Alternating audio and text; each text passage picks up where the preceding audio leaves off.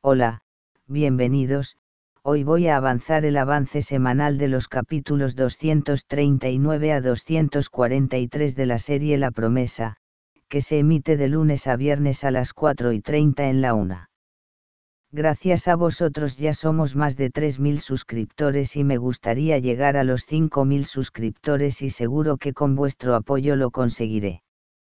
No olvidéis de darle un like, y suscribirse al canal, y de darle a la campanita y darle a todas las notificaciones para que os llegue el aviso de cuando voy subiendo mis vídeos.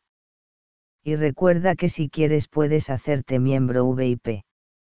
Para hacerlo solo tienes que darle al botón unirme y conseguirás ventajas exclusivas de las telenovelas de tu vida. Y recuerda que si quieres puedes hacerte miembro sería adicto.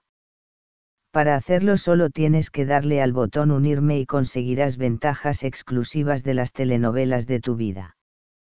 Avance capítulo 239, lunes 27 de noviembre Manuel y Jimena explotan y Alonso pone orden.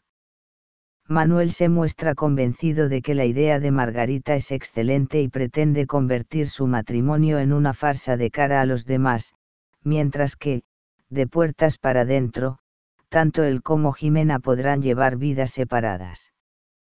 Sin embargo, lo que a Manuel le parece una idea liberadora, a su esposa le horroriza y eso provoca entre ellos la peor de las discusiones, tras la que Manuel toma una drástica decisión que deja sin palabras a Jimena.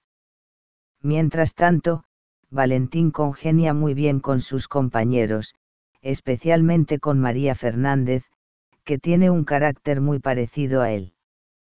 Por otro lado, Martina sigue hundida y nadie entiende qué le sucede. Curro intenta una vez más acercarse a ella, pero la muchacha le para los pies, consciente de que nada volverá a ser lo mismo entre ellos después de lo que vivieron. En cuanto al marqués, regresa de Puebla de Tera a tiempo para poner orden en su casa.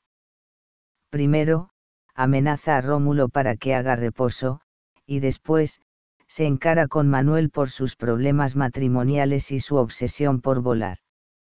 Avance capítulo 240, martes, 28 de noviembre Manuel repudia a Jimena y Curro descubre el secreto de Martina. Manuel echa a Jimena del dormitorio y ella no tiene más remedio que instalarse en la alcoba de Leonor. A pesar de todo, ella sigue cegada y no pierde la esperanza de solucionar sus problemas matrimoniales.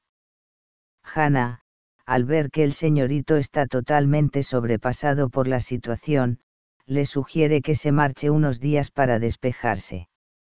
La doncella, por su parte, intenta dejar las cosas claras con Abel, pero la reacción del médico será absolutamente inesperada para ella.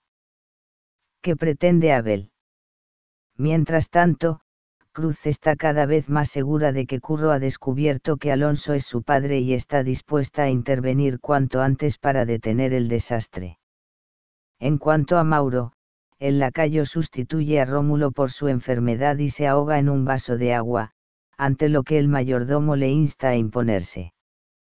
A su vez, Teresa teme que la Guardia Civil vaya a buscar a Feliciano y le acuse de asesinato, pues al no haber confesado, las consecuencias serían terribles. Y, finalmente, Curro averigua lo que le sucede a Martina, aunque eso le convierte en cómplice, se lo contará a alguien más. Avance capítulo 241, miércoles 29 de noviembre Manuel se escapa y Cruz quiere quitarse de en medio a Curro.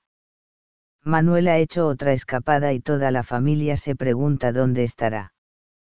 Todos, menos Catalina, a quien deja una carta explicando los motivos de su viaje. De largo, quien peor se lo toma es Jimena. Por otro lado, Hanna empieza a agobiarse tras la vergonzosa pedida de mano de Abel, viendo que el doctor es incapaz de asumir que ella no siente nada por él.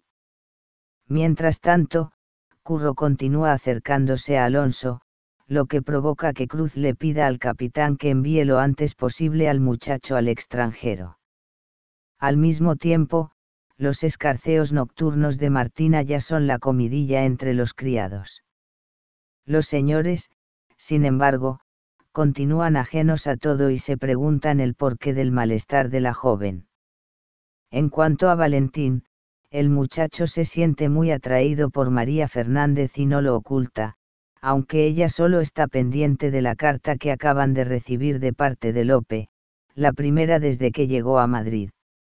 Avance capítulo 242, jueves, 30 de noviembre El secreto de Martina Seila La Luz y Catalina toma una decisión.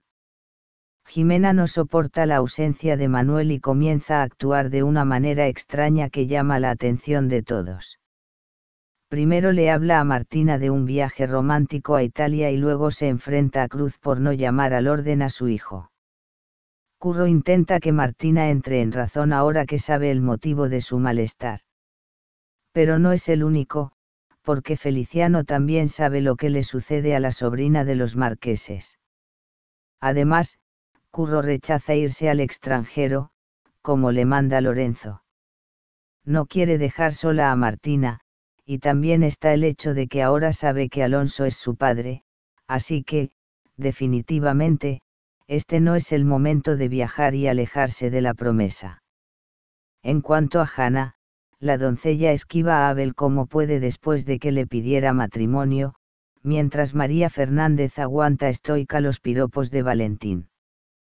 Por otro lado, Mauro se enfrenta a una revuelta entre los criados, que le hacen caso omiso y se pelean por el reparto de tareas.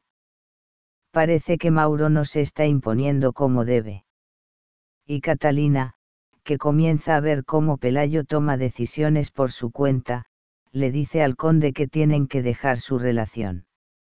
Avance capítulo 243, viernes 1 de diciembre Jimena se vuelve loca.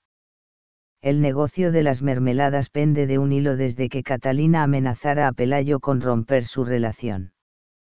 El conde reacciona enfrentándose a Margarita, pues sabe que ella es la que ha metido los pajaritos en la cabeza de la muchacha. Por otro lado, el fracaso de su matrimonio y la ausencia de Manuel están pasando factura a Jimena, que pierde la cabeza y comienza a enajenarse. La joven discute con Catalina porque está convencida de que le oculta el paradero de Manuel.